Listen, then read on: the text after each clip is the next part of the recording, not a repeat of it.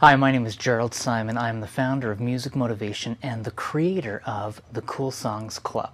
And I have a question for you. Can we really make piano exercises fun and exciting? Is there a way to help piano students have fun practicing the piano?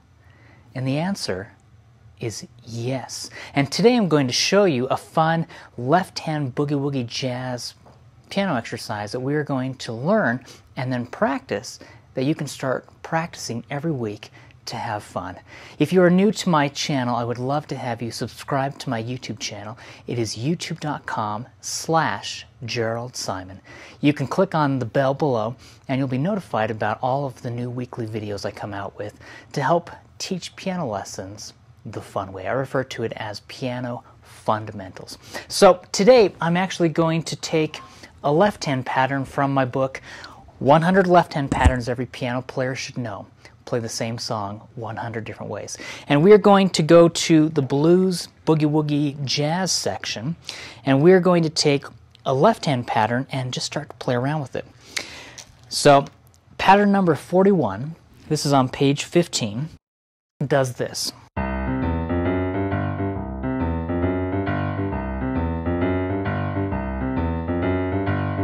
It's a simple left hand boogie woogie pattern.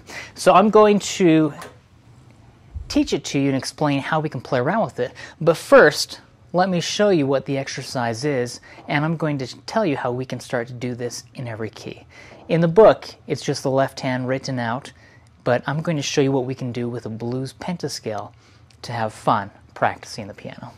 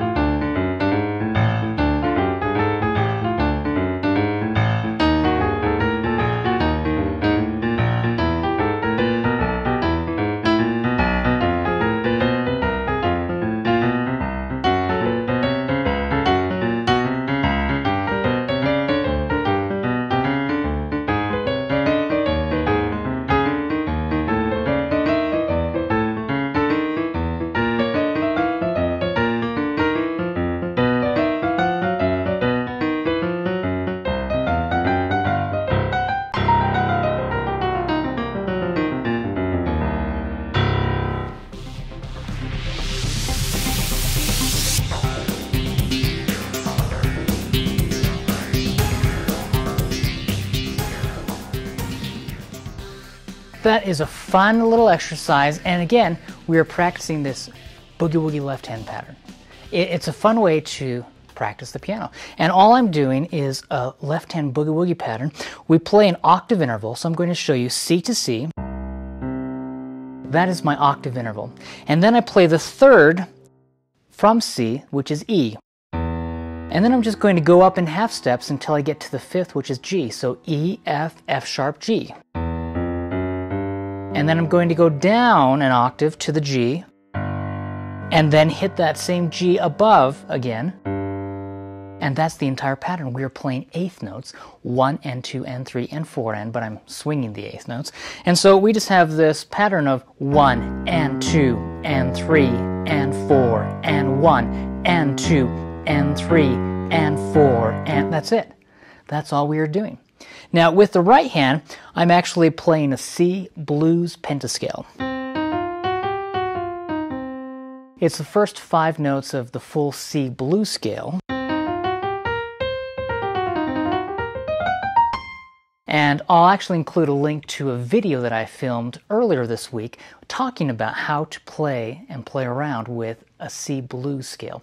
So I'll show you how to do that in the other video. But what I want you to practice is learning how to put these together. Now, to create the blues scale, I'll just do a little refresher for those of you who have not yet watched that video. You're going to play a C minor triad, C, E flat, G. Now, with the right hand, I'm using 1, 2, 5 as my fingering.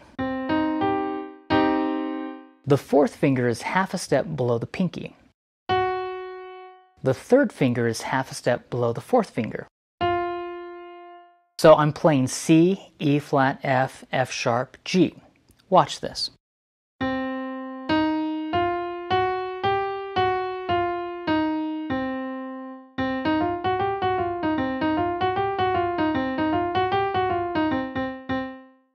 Now, with my left hand, I have that boogie woogie left hand pattern that I showed you from my book, 100 left hand patterns every piano player should know. And I'm doing this octave interval. Then I do the third, fourth, sharp the fourth, fifth, go down an octave, and then I play G again. That's it. Put them together, they're both eighth notes, so one and two and three and four and.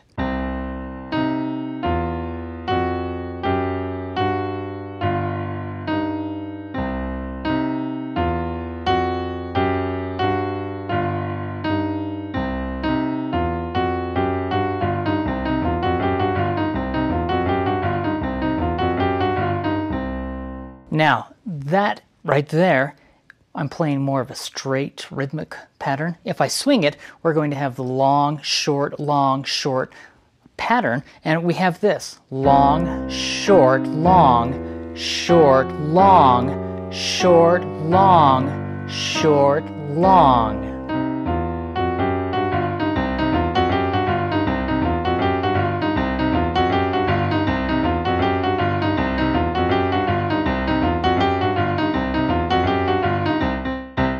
Now, again, as I showed you earlier, just try to go up and do that in every key, moving up in half steps. The pattern is the same. So if I'm playing C sharp, I would play C sharp minor triad with my right hand. Then the fourth finger is half a step below the pinky. Third finger is half a step below the fourth finger. Now, I can play that with a D minor as well. D minor triad is DFA. Fourth finger is half a step below the pinky. Third finger is half a step below the fourth finger. The left hand, we have that octave interval from D to D. And then the third, F sharp. And then I go up in half steps until I get to the fifth. So G, A flat, A natural, back down to A.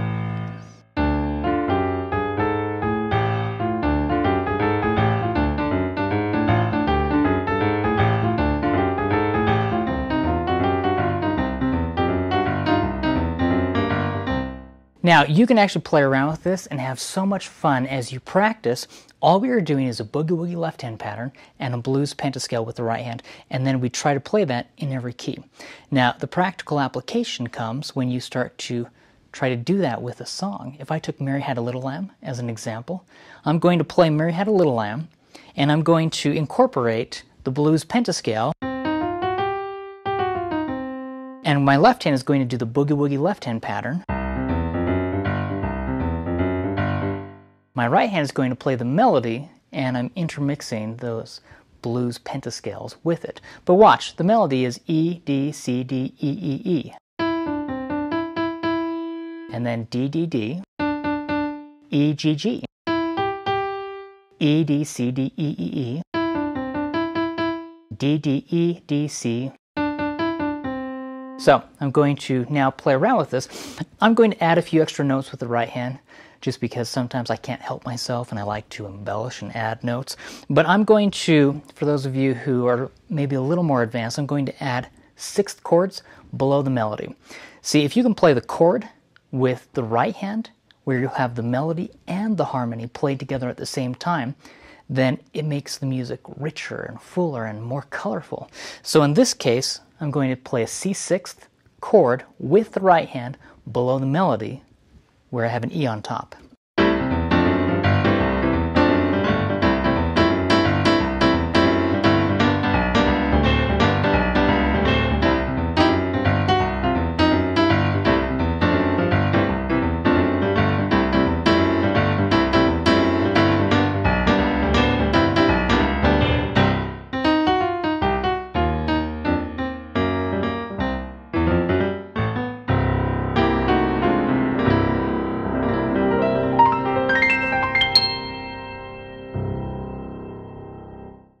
Hopefully that has been a fun little exercise. Try this every day, just see what you can do to learn and play this left hand boogie woogie pattern. And then the right hand, we're just improvising with the blues pentascale. And then I added that as we were playing around with variations on Mary Had a Little Lamb. Kind of a fun way to play around with it. You can actually see more left hand patterns in my book, 100 Left Hand Patterns Every Piano Player Should Know. Play the same song 100 different ways to help students learn how to take one song and play around with it and try different styles, different arrangements, where you take the melody and you add a left hand pattern and then you start to play around with it. So, I hope you've enjoyed this. I would love to have you subscribe to my YouTube channel. It is youtube.com slash Jerald Simon. If you have any questions or if you have a video you would like to have me create, please leave a comment below. I create these videos just for you, so whatever you'd like to learn, please leave a comment below. Give this video a like, thumbs up, share it with family and friends who may be interested in learning how they can take a fun left hand boogie woogie pattern and play around with it. Have a great day. Thanks for watching. See you guys.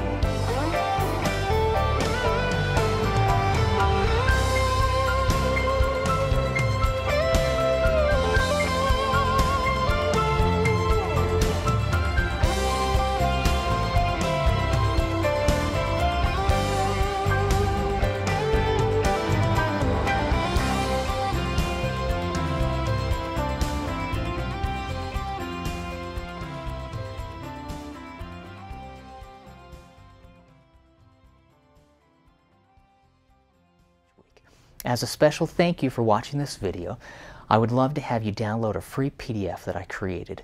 It is titled 20 Ways to Motivate Teen Piano Students to Want to Play the Piano the Fun Way. It's a 130 page PDF book that I created, and I'd love to have you download this book if you need ideas on how to motivate teen piano students, or if you are a teen and you're looking for some fun ways to be motivated, please download this resource. If you go to coolsongsclub.com slash free book. You can download the free PDF. It's a great resource and it even includes 30 free cool songs that I've composed from my Cool Songs series at coolsongsclub.com. I'd love to have you check it out. Thanks so much for watching. Have a great day. See you.